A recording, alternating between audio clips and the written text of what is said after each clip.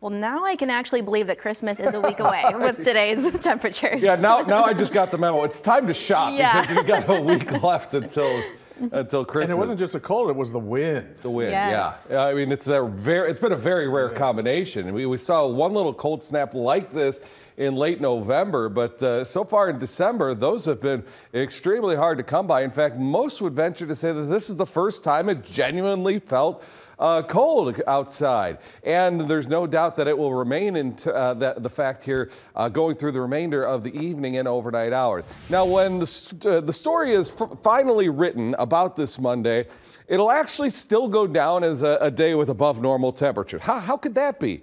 Well, the high temperature actually occurred right around or shortly after midnight.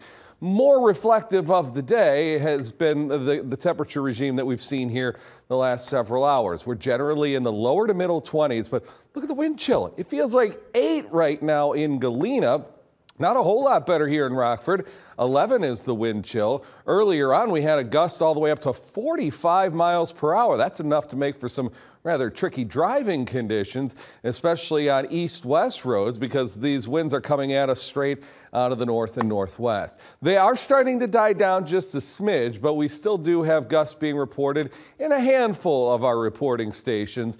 Now, as we go through the evening and overnight hours, yes, the wind will die down, so the wind chills won't get much below uh, the present uh, state of affairs. In fact, if anything, they actually might come up a smidge here, especially as the winds do die down a little bit more with every passing hour. Still, it is going to be a very chilly start to the day tomorrow, so you will most definitely want to be bundled up. But I do think a nice little recovery is in store uh, during the daytime hours thanks to the return of at least partial sunshine. We did see some sunshine for the latter stages of the game after early clouds and flurries departed. High pressure now moving in, which means a mainly clear sky is on tap tonight. That'll allow our temperatures to fall all the way down to 15 degrees, one of the chillier nights we've seen.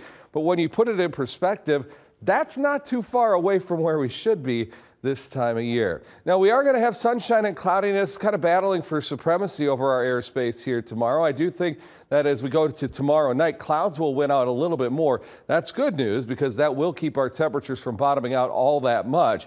And then a good amount of sunshine, just a, a veil of high and mid-level clouds during Wednesday's afternoon hours. As the wind shift to the southwest, we'll see a substantial uh, rebound in terms of our temperatures. Now, we're close to normal here today. I think we'll be close to normal again tomorrow. But then here we go again. This has been kind of the calling card of the winter thus far.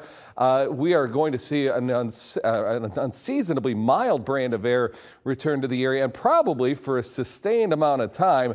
This takes us through at least Saturday. And folks, if you're looking for a white Christmas, unfortunately, this is, I think, what we are going to be continuing to deal with in through and beyond the Christmas holiday.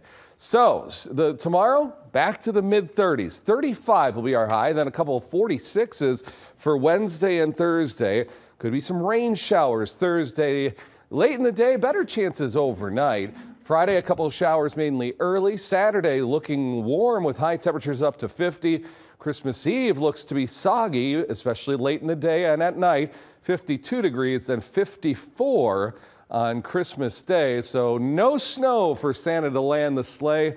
Might have to navigate through, uh, through some showers, though, as he makes his way into the state line on Christmas Eve night.